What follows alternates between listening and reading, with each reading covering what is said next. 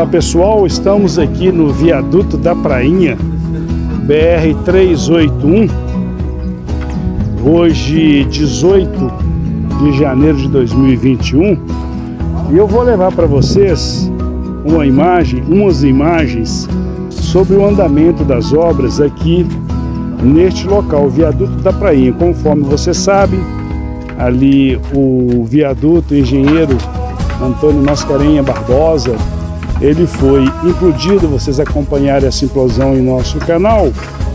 E hoje estou aqui para mostrar para vocês algumas novidades relacionadas a este trabalho. Deixa eu aproximar um pouco mais aqui, aí vocês vão poder ver bem próximo o que está sendo feito. Deixa eu aproximar mais um pouquinho mais um pouquinho vamos aqui assim. Deixa eu girar um pouquinho aqui para que vocês possam ver, tá? Assim. Vocês estão vendo esse pessoal trabalhando aí? Está sendo construído as vigas que serão colocadas sobre a ponte. Uns falam ponte, outros falam viaduto. Ô irmão, isso é o que? Ponte ou viaduto? Viaduto, mas viaduto passa água por baixo. Como que é? Eles falam que viaduto é quando passa a estrada. É viaduto? É viaduto, é ponte, é tudo. Então, pessoal, está sendo construído as vigas. Deixa eu aproximar um pouquinho mais. Aí vocês vão poder ver bem de pertinho o trabalho que está sendo feito. Vamos aqui. Essas vigas, elas têm 4, 40 metros. E o pessoal trabalhando aqui, ó, o sol tá rachando. Mas vocês estão vendo, ó, vamos aproximar um pouco mais, está sendo montado a ferragem para depois receber o concreto. Deixa eu ficar de frente aqui. Você que é construtor, você sabe como que é feito isso, né?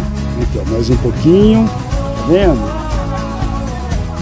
Aí enche de concreto, após a colocação de toda a ferragem. E para onde ela vai ser levada? Acompanhe a gente aqui, ó. Vou mostrar para vocês onde ela será colocada. Conforme eu disse, BR-381. Aqui é o quilômetro 309, não é?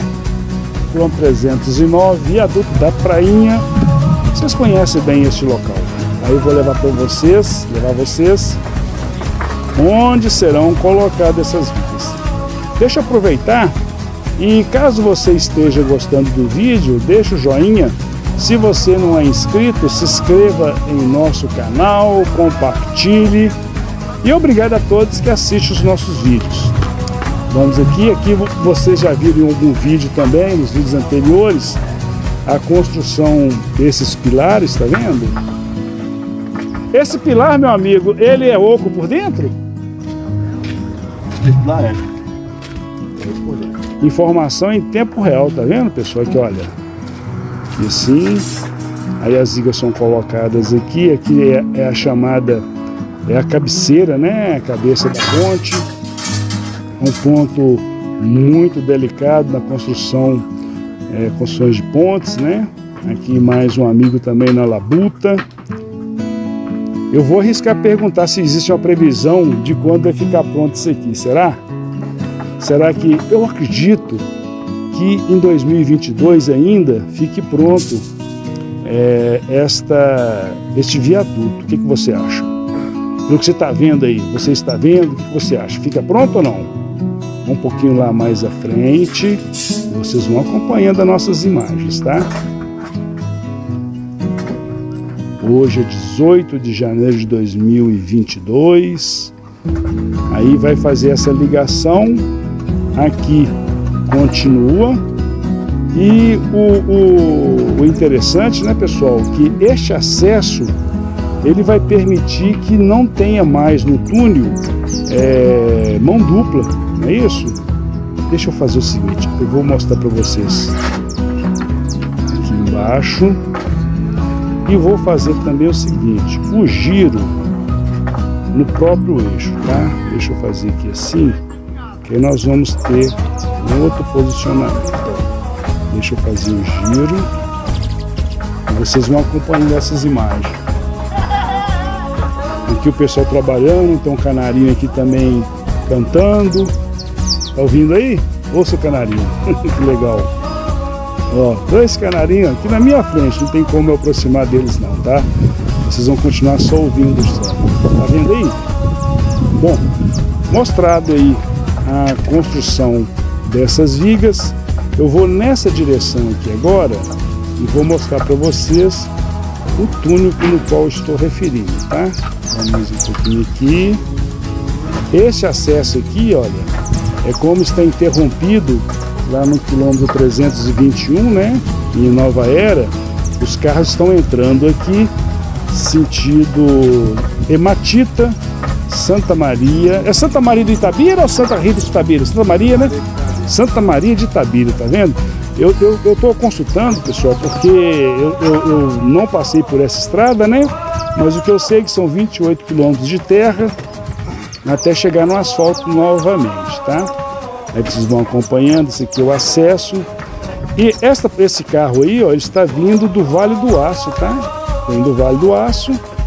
Vão acompanhando as imagens. Deixa eu baixar um pouquinho mais para que vocês possam ver mais próximo. Ah, outra informação, ó, é, tá bloqueado para passagem de caminhões, carretas, veículos pesados, tá? Não tá podendo passar por aqui. Aí deixa eu fazer o giro aqui que vocês vão ver é, onde está o viaduto, olha.